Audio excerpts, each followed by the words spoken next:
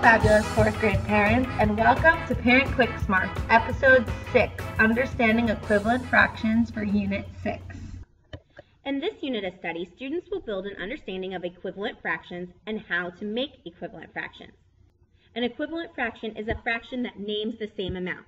So you can see here that 3 fourths and 6 eighths show the same amount of the whole or the same area of the whole.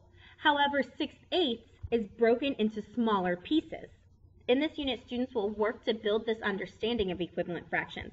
They will begin their work by using models and drawing lots of pictures. It's important for students to spend as much time as they need building that understanding with those concrete models before they jump to the abstract and the algorithm. One strategy for naming equivalent fractions is to use fraction strips. Fraction strips are manipulatives that students use in class. You have access to virtual fraction strips online on thinkcentral.com using the student's password that their teacher gave them. These fraction strips are all related to one whole, and students can see which fractions are the same size as others. Students could take the tile for one-fifth and see which other fractions are equivalent. Students could match 2 tenths to one-fifth because it covers the same amount of area. It just uses different sized pieces. The next strategy students could use is drawing a model. Now students struggle sometimes with this strategy because it's hard for them to draw their whole the same amount and it's hard for them to equally divide their whole into the number of pieces. So a helpful tool is for students to draw on grid paper, like this student did. You can see the student drew one fifth and then they broke each fifth into two equal parts, making 10 pieces. Two of the pieces are shaded in, showing that 2 tenths is equivalent to one-fifth. Again, it's really important for students to make sure that their models are drawn equally and that their whole is divided into equal parts. The next strategy for students to use is a number line. This follows the same method as they did when drawing the model. Students would draw their fifths as shown here. Then they would break each fifth into two equal pieces, creating tenths. Now students can use this number line to show that one fifth is equivalent to two tenths. As students continue their investigation into creating equivalent fractions, they will start to see a pattern that they can multiply to create these fractions. You can see here that this student broke the each half into two equal pieces. So they multiplied by 2 to create 2 fourths. This student broke each half into three equal pieces, so they multiplied by 3. This student broke each half into four equal pieces, and so on. However, students need to recall from their understanding of the identity property of multiplication that multiplying by 1 results in the same answer. So students won't be multiplying by 2, they'll actually be multiplying by 2 halves, or 2 over 2, which is a fraction equal to 1. So when they multiply the numerator by 2 and the denominator by 2, they're not changing the size of the fraction, they're just changing the number of pieces. And essentially, they're multiplying by 1. So let's look at our example. We have 1 fifth. We're going to multiply it by 2 halves, or 2 over 2. Again, that's equal to 1. And it results in 2 tenths, which is equivalent to 1 fifth. Students know that they can multiply by a fraction equal to 1 to create an equivalent fraction, then they can also divide by a fraction equal to 1. When you divide by a fraction equivalent to 1, you're putting the fraction in its simplest form. A fraction is in its simplest form if it's using the fewest equal sized parts as possible. So you can see here we had 2 eighths. We can record 2 eighths as 1 fourth, so it's using fewer parts than 2 eighths. Students will use that same understanding to divide both the numerator by 2 and the denominator by 2. You can see in this example that the student first divided the numerator by 2 and the denominator by 2 to create a simpler fraction of 3 ninths. However, 3 ninths can still be simplified by dividing both the numerator and the denominator by 3 to record the simplest form of 1 third. Students know that a fraction is in simplest form when the only common factor between the numerator and the denominator is 1.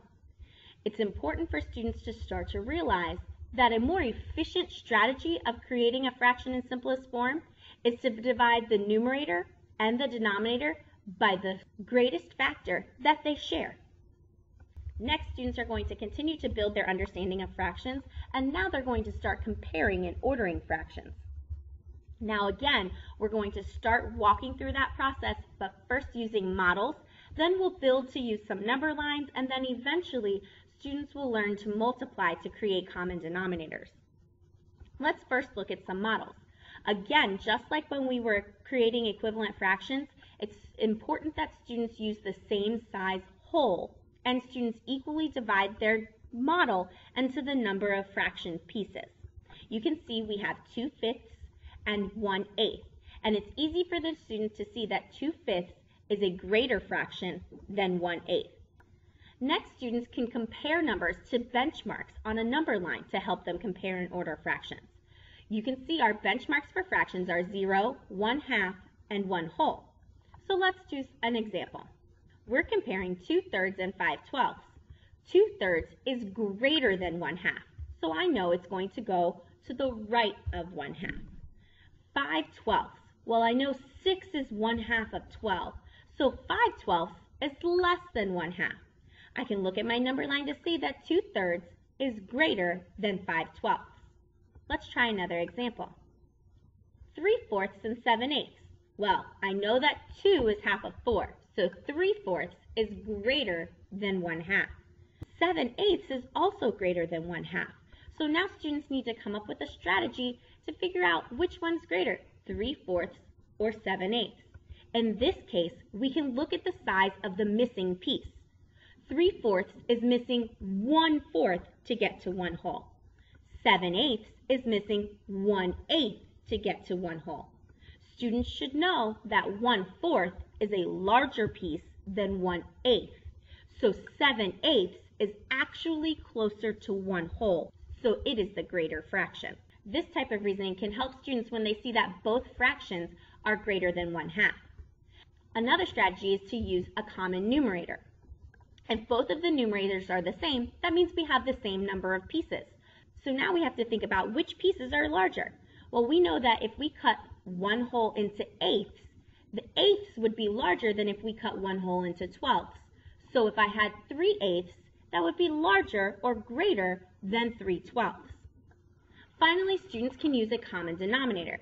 If students have a common denominator, they know that the size of the piece is the same, and they simply have to count the number of pieces to see which fraction is greater. So let's look at this example. We're comparing 4 fifths and 1 half. They do not have a common denominator, so let's make a common denominator. You can make a common denominator for those two fractions by using a common multiple. You can see we both fractions 4 fifths and 1 half share a common denominator or common multiple of 10. We can use multiplication to create equivalent fractions. So now we know that 4 fifths is equal to 8 tenths and 1 half is equal or equivalent to 5 tenths. 8 tenths is greater than 5 tenths, so 4 fifths is greater than 1 half. Here are some questions you can ask your child while they're working through creating equivalent fractions. You can find lots of real-world connections to fractions in your kitchen. Students can compare and order the amounts of each ingredient used in this recipe. Another real-world connection is when students are talking about their homework. Jimmy might have finished 7 ninths of his homework. Ashley might have finished half of her homework. Who has finished more? Furthermore, they could say Jimmy finished 8 out of 12 problems. Ashley finished 7 out of 9 problems. Who has a greater fraction of their homework completed? Thanks for tuning in. Remember to always keep in communication with your child's teacher and to check out these school links for more information. See you next time.